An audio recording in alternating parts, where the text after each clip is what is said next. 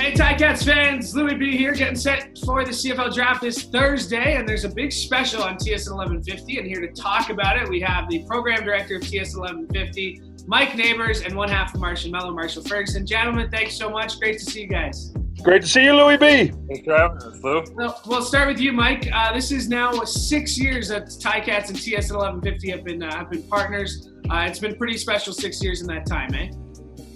It, it really has been. It's been a fantastic uh, partnership between the team and, and TSN 1150, and uh, and just and and just the full team, right? I mean, everybody at the TICAT offices who we're always working in conjunction with, and we've got a great relationship with them, and uh, we've got some great plans. And of course, over the course of that six years, the TICATs have just gotten better and better and better. So, who isn't excited about finally getting this season off the ground?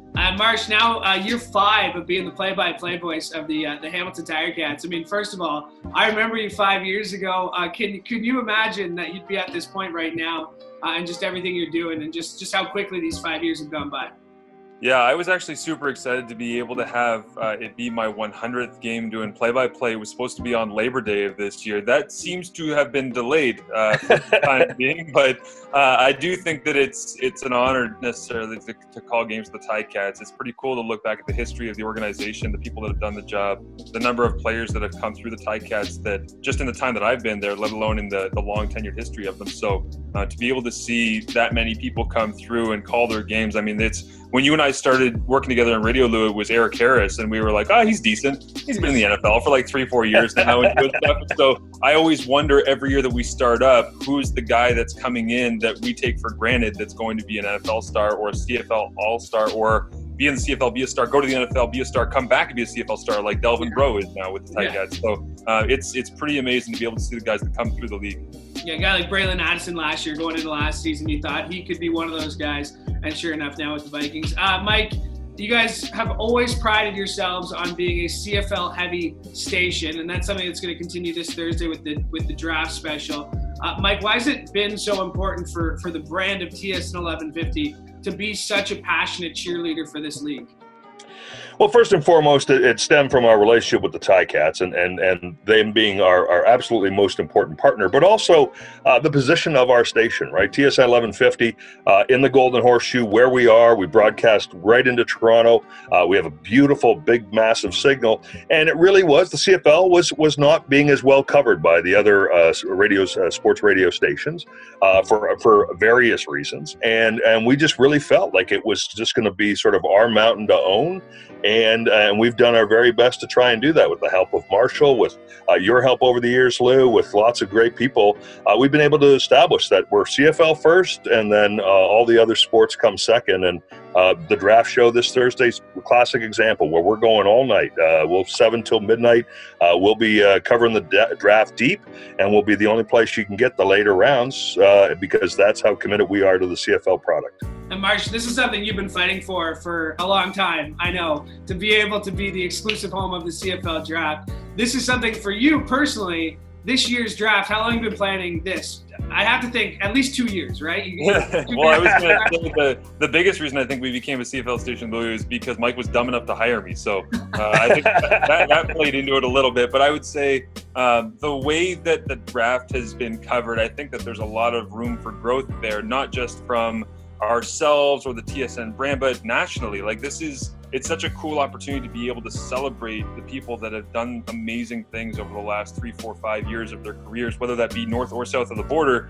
And so, yeah, I've, I've wanted to be able to have something like this. I never know what shape it's going to take because I think every year it's so different. But every year that we take another step forward, we cover another round, or we bring in more guests, or we find a way to get alumni from the Ticats involved more in the show, and they become kind of a celebration of the guys that they're welcoming into the Ticats there's just so many different angles that I think you can cover in a draft because the draft, yeah, it's important. It's great to be able to see people come into the organization and maybe they turn into great long term players.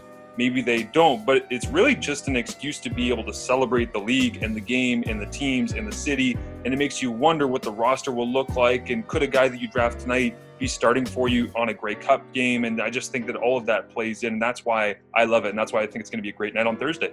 Speaking of that, the Ticats do have two first round picks on Thursday. When you look at what the Ticats may do, their holes, what they need positionally, And when you look at the 2020 draft class, Marsh, you know this class well. What do you think the Ticats night looks like on Thursday? Yeah, that Johnny Manziel trade just keeps on giving, don't it? Uh, that second first round uh, pick that they've been able to acquire there, I think that's uh, it's pretty amazing to see. And oh, by the way, they get another first round pick next year, so I'll be making the exact same joke 365 days from now.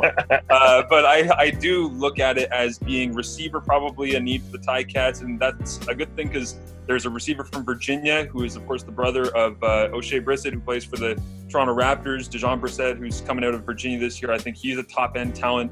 Um, if they would like to, they could reunite Marcus Davis, who spent last year on the practice roster with Trivel Pinto. They were teammates at UBC.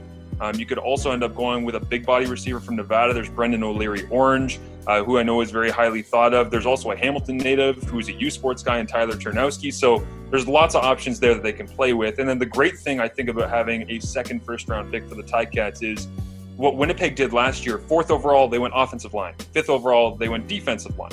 And so when you have two picks, you don't have to double up and say, well, hopefully one of them turns out the quality is so high at that point in the draft in the first round that you can draft two different positional needs, maybe receiver and O line, maybe receiver and D line, maybe receiver and linebacker, whatever you want to do there.